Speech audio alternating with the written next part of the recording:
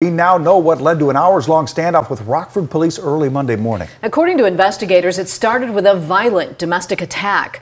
Officers responded to the home on Howard Avenue just before 1 a.m. They learned a male suspect, a woman, and four children were inside.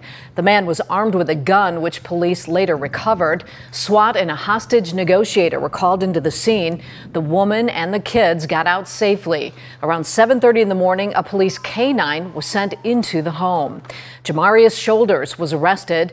Police say he was bitten by the K-9 when he resisted. He was taken to the hospital for treatment. The 27 year old now faces a long list of charges, including aggravated domestic battery and aggravated assault. Shoulders was also wanted on two domestic violence warrants.